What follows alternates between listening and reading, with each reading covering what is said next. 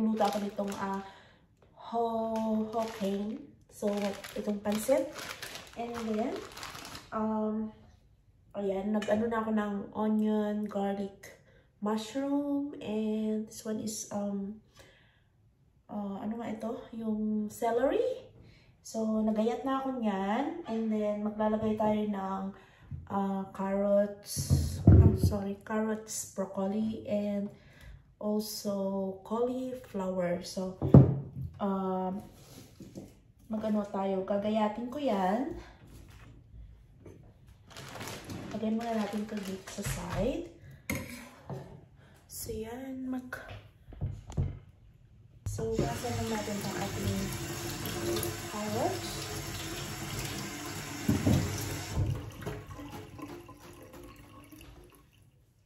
Um, guys, bago akong umuwi ngayon, galing sa trabaho. So, parang nasa ano lang ako, 5 and a half hours today. And then, ay, hindi pa ako nag-start sa ano guys, sa hospital. I'm still waiting pa rin sa tawag nila kung kailan ba talaga mag-start. Sabihin lang natin to. Yung carrots natin. Isang ano lang guys, isang pack lang ng pansit yung aking lulutuin. Kasi, um, tama na yun. Kasi dalawa lang naman kami. At saka isa lang talaga yung pansit na nandyan. Okay, ito. So, gayatin lang natin ito na paano bang gayat nito? Uh, maliliit, maliliit na gayat guys.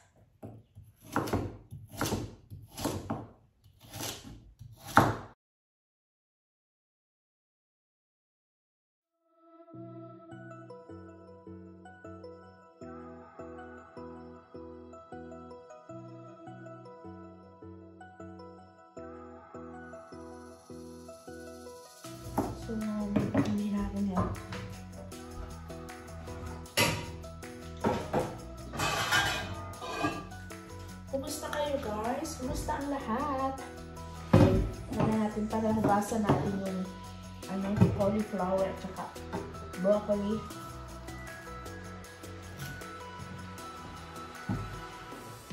Oo, parang mayroon na siyang ano eh. Hindi ko siya isasama yung iba. Mm. Ayun. Sayang kasi eh. Pwede pa naman yan. So, masasama ko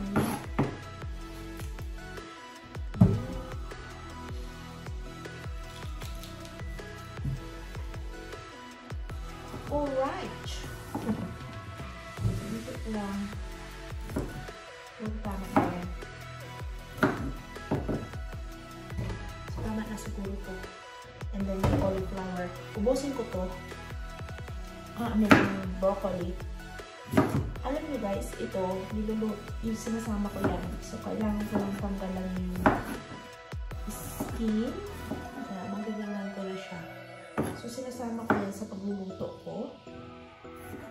Kasi, na ano ko to dun sa sa ano, sa kitchen roll. Nakita ko yan na niluto, in sinasama nila sa pagluluto. Ayan. Kailangan ubusin ko na tong ano, um, broccoli kasi medyo malanta na siya. Dahil sa fridge lang siya. Na, ito yung ano, yung, yung dati pa namin binili. Tapos yung bago namin last week. Last weekend. So, yun na lang yung stock doon. So, yung gasa lang natin guys. Ito na siya. Gasa lang natin. Ang ba nasasama ko dun sa ano. Although malinis talaga to eh. Kaya nasigas na ng maayos. So, isasama natin dito sa ating tray ng vegetables. So, sama-sama na lang yan. Pag inano ko, ginisa ko. Sama-sama. I think, i-stay na lang dito siguro. Tapos, yung chicken ko ay isa na.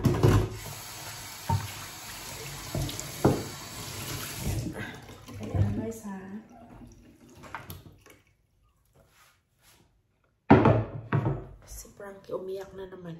Lagi na lang ako topic ko, Frankie! Oh, may isa pa palang ano. May isa pa pala tayong mushroom. So, ano natin gayatin. Binigyan ko na ng banana si Frankie. Ayaw pa rin niyang tumigil. Gusto niya kasi nandito siya. Kaso guguluhin na ako. Balik natin to sa fridge, guys.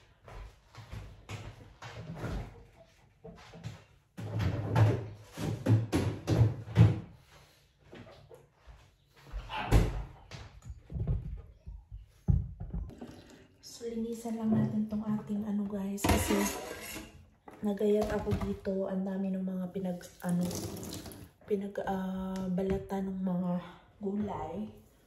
Onion. So, lagay natin. Nasa lang natin. Kasi nag-request yung husband ko guys na tawag dito ng pansit. Sabi niya, lutuan ko daw siya ng pansit. So, yun. Yung request na ay masusunod. Punasan lang natin. Para dry kasi kasi ano natin, gayatin natin yung ating chicken. Nagpakulo ako ng ano, chicken breast.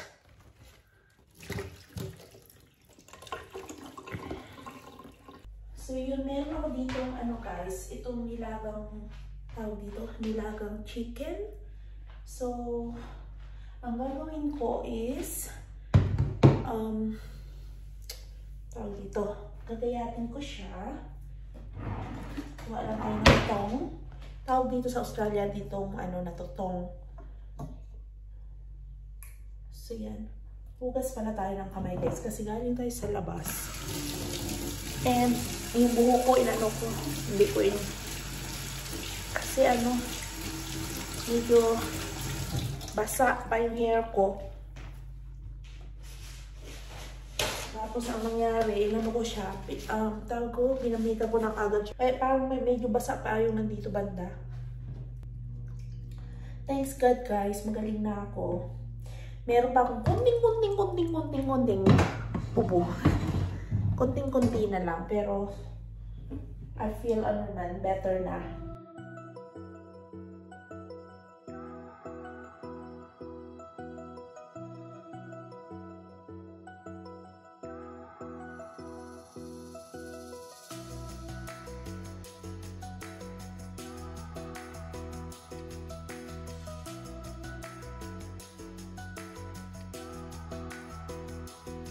Kanyang rice. Kasi mag-rice siya mamaya.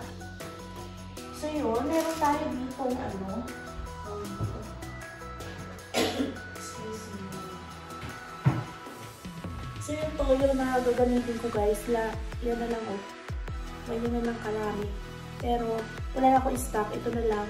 So hindi ko naman siguro ito mauubos kasi nakakarami pa rin na tira. Mag-ano lang ako ng ano, ng hair ko guys kasi magluluto ako. Kailangan kong tawag dito, puyulin. Uh, o, kompleto na yung mga ingredients ko. Meron na, ito yung pansit na gagamitin ko okay. And then, meron tayong uh, garlic, onion, mushroom, carrots, and uh, celery. And also, meron tayong ano, broccoli and cauliflower. Magamit tayo nitong magic sarap. And then may salt tayo dito, uh, ground pepper. So, yan. And then oyster sauce. And soy sauce. And of course, yung ating chicken breast. Ayan. So, kung gusto ko na medyo may may sabaw siya. So, may pinaglagaan ako dito ng ano, ng tawag dito, ito, ng chicken. So, lalagay tayo ng konti para magkaroon ng last. So, natutulog pa rin naman guys yung ating may bahay. so, natutulog pa si Dwayne. So, yan. Mag-ano tayo, initin natin itong ating stove. Hanapin. Dito pala yung ating gagamitin oil. Mag-ano ako. Kunti na lang oh. May kunti na lang. Kasi yung meron akong oil dyan, yung vegetable oil. Marami ako. Kaso itong gagamitin ko para healthy. So, yan, gagamit din tayo nito. And then, ang unang gagawin natin is magpapainit tayo ng ano. Hindi ko alam kung kakasya ito. Malaki naman ito eh. So, yan, magpapainit tayo ng ating kawali para sa ating uh, dito, ating pansit. Lagay tayo ng mantika, guys. Gusto kong ano, medyo marami yung olive oil. And then,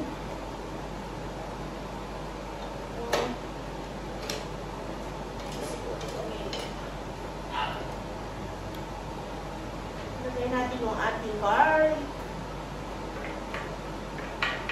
Hindi pa mainit. So. Lalagay natin yung ating onion.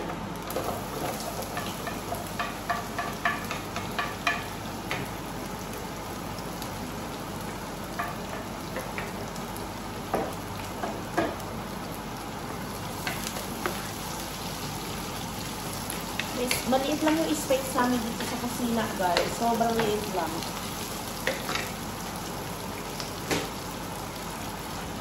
Yung ating oil.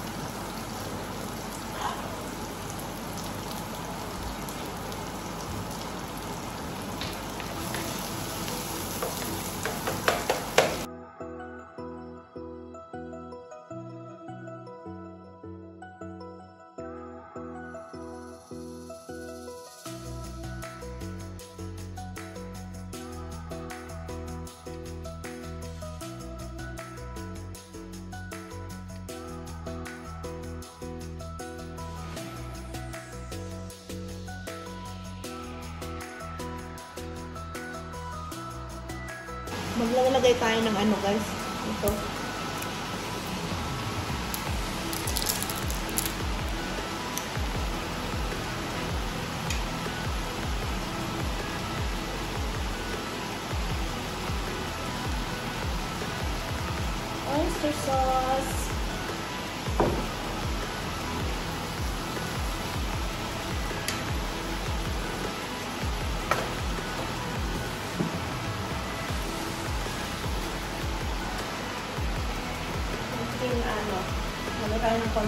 Soy sauce.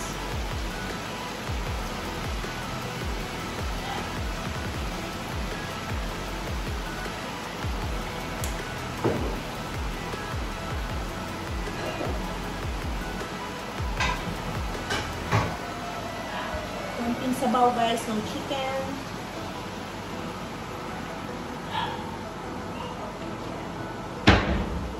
And then, takipan lang natin para kumulo.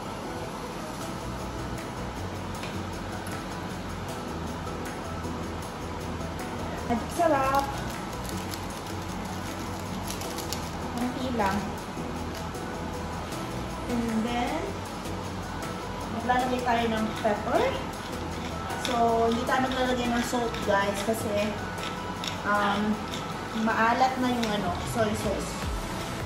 So, ito lang. Paluin lang natin. Kumukulo na siya.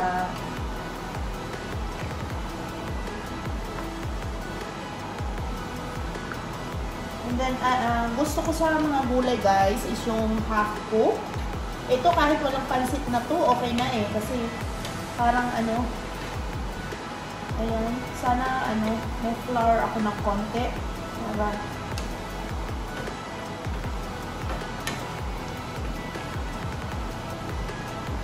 So, pakitan lang natin ulit. Okay. Talaga natin tong ating, ano guys, yung ating pansit.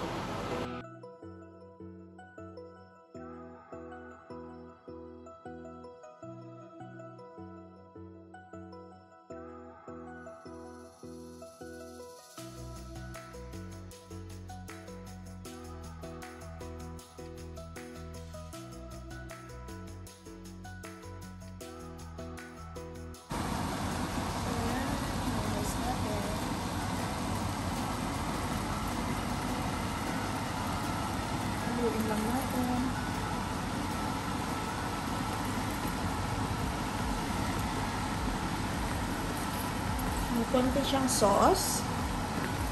Pero luto na siya guys. Yummy.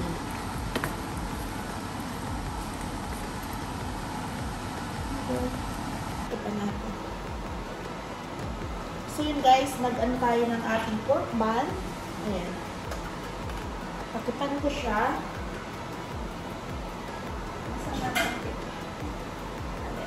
And then, ito, sa ibabaw natin ilagay pala. Maglalagay din ako kasi guys ng ano, nitong ating family pa, ano, yung ating dimsum. So, alisin muna natin. Kasi so, lima kasi yung traso yung ating pork bun. So, ito, kamayin na lang natin yan. Maglalagay ako dito ng 5 pieces.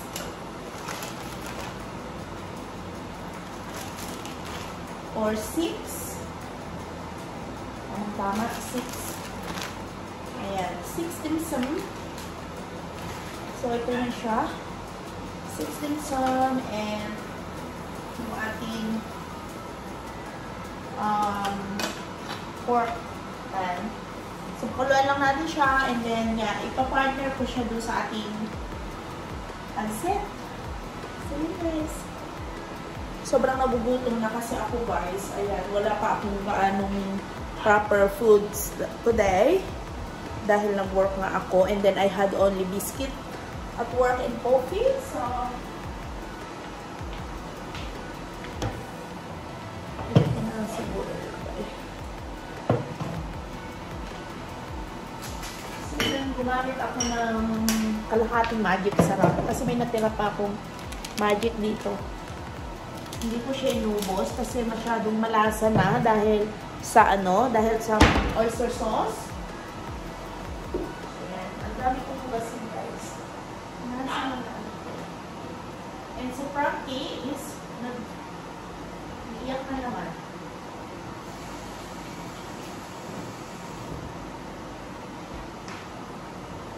So, yun lang. Pork bun.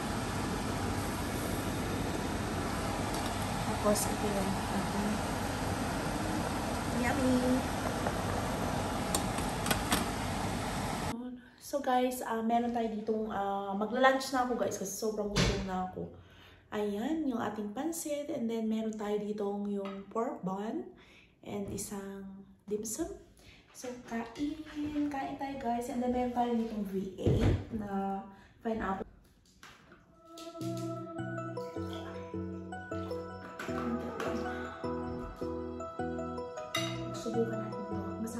Masarap to guys. So, far.